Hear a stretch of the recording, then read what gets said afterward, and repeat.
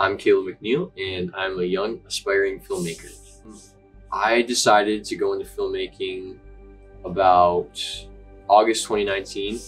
Um, I just seen uh, the TV, the third season of Stranger Things TV show on Netflix, and I was like, man, I if I could make some sort of show, anything like this, that would be really awesome. If I could be able to make something so influ- influential to so many people, and it kind of took off from there.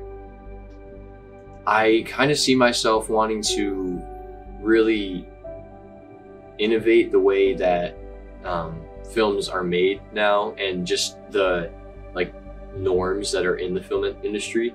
Um, I I really believe that a lot of there are a lot of independent filmmakers out there, not just me, that have a lot of good ideas, but it's really difficult to get into film or the film industry and make it in Hollywood because you have to have so many connections and really work to get there.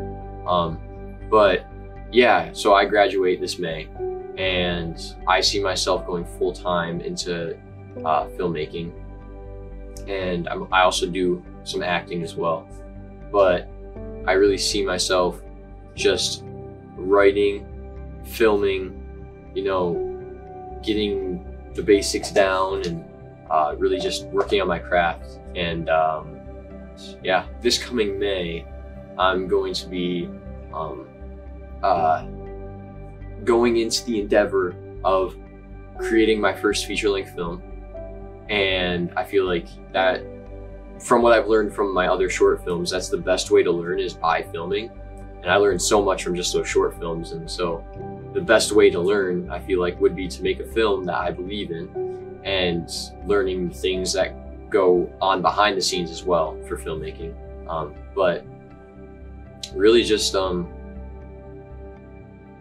like starting the film and going out and getting myself to work every single day, even when I don't feel like it, just getting in those hours, It gets to 10,000 hours, you know, so I can master it. Um, most of the ways that I, I'm learning now, but how, so what I'm learning, how I learn right now is pretty much I have an acting coach and he doesn't just teach me acting. He, he he's been in the film business for a while, and so he teaches me stuff all the time. If I ask him about how do I, what's the best way to put out a casting call, stuff like that, he'll tell me.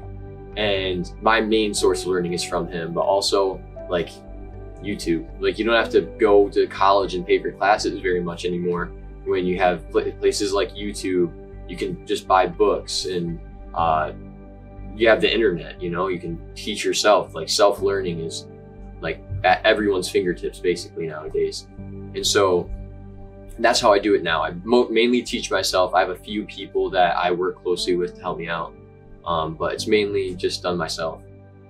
Um, and how I plan on doing it, I don't have any specific plans um, to travel really. Like I, I don't I don't see myself moving moving to LA. Maybe um, if I get a job there or something, I'd go there, travel there until the job's done, and I come back home. Um, I don't see myself moving across the country to pursue my dreams, since there's like a lot can be do, done over the internet nowadays. So um, I don't think it's a necessity to move, and I don't see myself doing that anytime soon. So my inner circle of people is very supportive of what I do. Um, my parents are extremely great. I'm very blessed to have the parents that I have. Um, my family's just all in all is very supportive. I have a few friends, uh, mentors that are very supportive to me.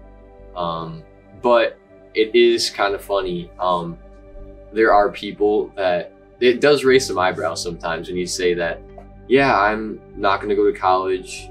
I'm just going to go into acting and filmmaking. I've been like when I get with my extended family, grandparents around the holidays and stuff like that, they uh it definitely does raise some eyebrows. One time I was talking to my grandparents in uh, at my house and they're asking they were going down the line asking us uh, you know who's who's doing what. They asked my sister one of my sisters and she was like oh i'm going into social work. They asked my other sister. She said she wants to go into some type of uh, creative design um, and I asked my little brother, he's like, oh, I want to go into insurance. And they get to me and I say, oh, I'm going to be a filmmaker. and then they're just like, "Oh, okay, that's nice, that's nice." But like, what are you gonna do for a job? And I'm like, "Well, yeah, that's what I'm gonna do." You know, so um, it definitely does raise some eyebrows. Even some people close to me don't really get it, but as a creative, you you get that once you get that itch, you just have to go for it. So I've just kind of like abandoned all all else and just gone for it. So